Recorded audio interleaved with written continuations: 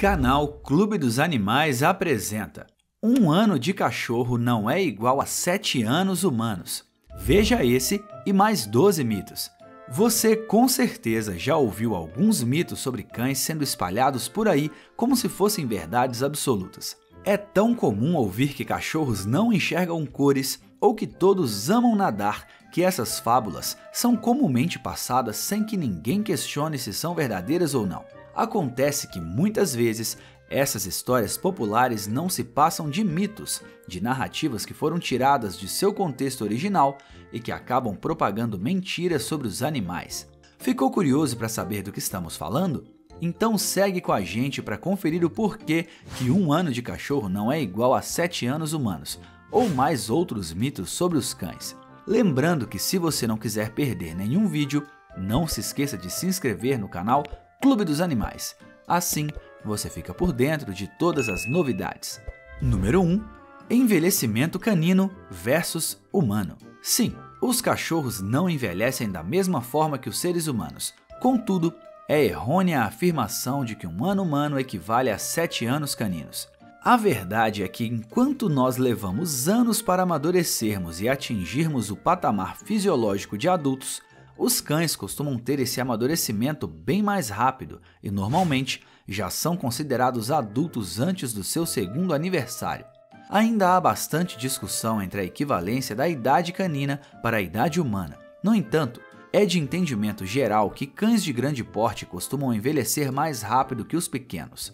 Enquanto o envelhecimento humano segue um padrão ao longo de toda a vida, o dos cachorros começa a ser mais rápido nos primeiros anos de vida e após eles atingirem a idade adulta, tende a desacelerar. Número 2. Cães são daltônicos. É verdade que os cachorros não enxergam da mesma forma que nós humanos enxergamos.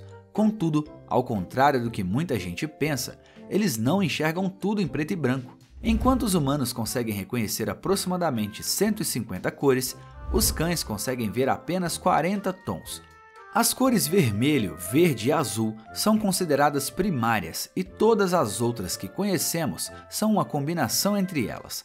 Enquanto nós possuímos receptores para as três, os cães só são sensíveis a algumas tonalidades de azul e de vermelho e, portanto, não conseguem reconhecer outras cores, vendo-as em um tom semelhante ao cinza. Número 3. Quando o cachorro boceja é porque está precisando dormir. Bocejos nem sempre são um sinal de cansaço para os cães. Não é comum notar que o nosso cachorro bocejou em momentos completamente aleatórios, sem que ele esteja necessariamente se preparando para ir dormir. Muitas vezes os cachorros bocejam em uma tentativa de aliviar o estresse, amenizar a excitação que estão sentindo ou até mesmo para chamar a atenção do dono em uma tentativa de conseguir carinho. Então, se seu amigo de quatro patas está bocejando, isso não significa que ele está obrigatoriamente cansado ou entediado. Número 4. A saliva dos cachorros tem propriedades curativas. Muitas pessoas não só acreditam que a saliva dos cachorros pode ajudar a curar, como os incentivam a lamber os machucados. Todavia, esse ato não deveria ser incentivado. Ao contrário do que muitos acreditam, não é bom para o cachorro que ele lamba os próprios machucados. A boca dos cães não é exatamente limpa e por isso não é bom que eles lambam ferimentos abertos. Esse ato é até arriscado para a saúde deles, visto que, além de não acelerar o processo de cicatrização, lamber machucados abertos pode fazer com que eles fiquem infectados com bactérias. Número 5. O melhor alimento para cães é carne crua.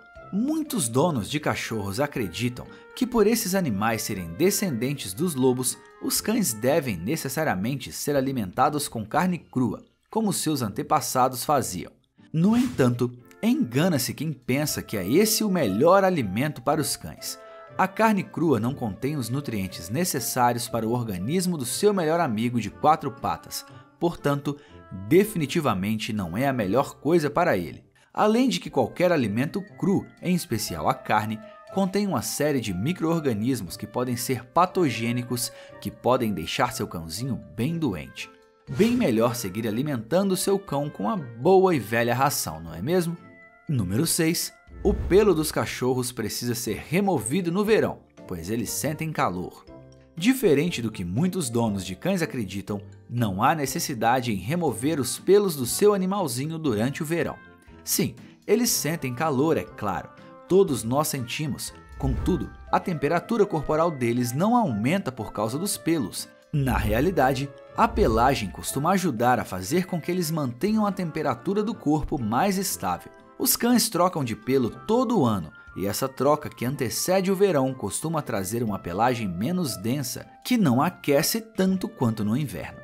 Fora que os pelos são essenciais para proteger os cachorros do sol, então, se mesmo assim você quiser tosar o seu amigo, certifique-se de apenas cortar o pelo e não o raspar. Número 7. Calçados para cachorros só existem por uma questão estética. Você provavelmente já viu alguma foto ou vídeo de um cachorro com calçados, ou até mesmo viu algum assim pessoalmente na rua, e pode até ter pensado que esse acessório é puramente estético, ou ainda que serve apenas para fazer graça.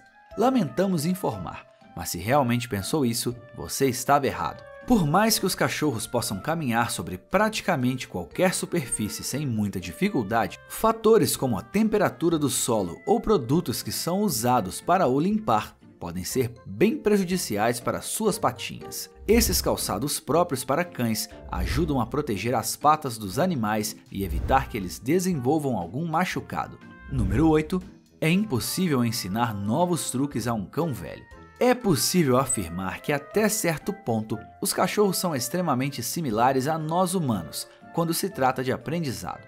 É bem mais fácil aprender alguma coisa quando se é criança, da mesma forma que para os cães é bem mais fácil ensinar algo a um filhote do que a um cão adulto. No entanto, não é nada impossível ensinar algum truque a um cachorro adulto ou até mesmo idoso. É preciso paciência, obviamente. Contudo, Passar novos ensinamentos para cães mais velhos não é só possível, como é algo super recomendado por especialistas sobre saúde animal. Afinal, é sempre importante manter a mente do seu melhor amigo ativa. Número 9. Todos os cachorros adoram nadar. Nadar é algo bastante instintivo para os cães e é bem provável que o seu cachorro vá saber o que fazer caso caia em uma piscina ou rio. No entanto, saber bater as patas e se movimentar na água não significa que ele esteja gostando daquilo. Sim, de fato, muitos cachorros gostam de se refrescar na água e nadar. Todavia, isso não é uma verdade para todos os animais. Pelo contrário, muitos cães têm completo pavor de piscinas e rios. Número 10. Se o cão não tem contato com outros animais, não precisa ser vacinado. Todos os cães precisam ser vacinados e é de extrema importância para a saúde do animal que seu dono se certifique de manter a carteira de vacinação em dia, com doses atuais das vacinas que precisam ser feitas anualmente. Acontece que quando um cachorro não possui contato com nenhum outro da espécie, o risco de contágio para algumas doenças, que só podem ser transmitidas de um cão para o outro, diminui exponencialmente. Contudo, apesar de menor, esse risco ainda existe. Portanto, é sempre importante vacinar o seu amigo de quatro patas, ainda que ele não conviva com outros cães. Número 11. Quando o focinho está ressecado, é porque o cachorro está doente. Muitas pessoas ainda acreditam que estar com o focinho seco ou quente é um forte indicativo de que o cachorro está doente. Todavia, esse é mais um dos mitos que queremos desmentir aqui. Nem sempre um focinho considerado normal, ou seja, frio e úmido, é um sinal de boa saúde para o cachorro, da mesma forma que um focinho quente e seco não é necessariamente um sinal de que seu amigo não está bem. Caso o focinho do seu cachorro esteja com uma camada seca ou com fissuras, aí sim é uma boa ideia o levar para o veterinário. Caso contrário, não precisa se preocupar. Número 12. Quando o cão faz as necessidades fisiológicas no lugar errado, é preciso esfregar o focinho dele no local. Temos diversas comprovações de que métodos punitivos não são realmente eficazes no treinamento de cães. Todavia, ainda assim, muitas pessoas insistem erroneamente em os aplicar. Esse tipo de tratamento só faz com que o seu cão fique traumatizado e desconfiado com você e não é nem um pouco eficaz para o ensinar nada. Nem sempre é fácil fazer com que o cão aprenda a fazer as necessidades no lugar certo. Porém, é preciso ter paciência para o educar de maneira certa. Gostou do nosso vídeo? Conta pra gente aqui nos comentários quais desses mitos você já conhecia e achava que eram verdadeiros.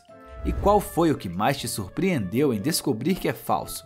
Se quiser conferir mais conteúdos desse tipo e ficar por dentro do mundo animal, não se esqueça de curtir e se inscrever no canal Clube dos Animais. Até o próximo vídeo.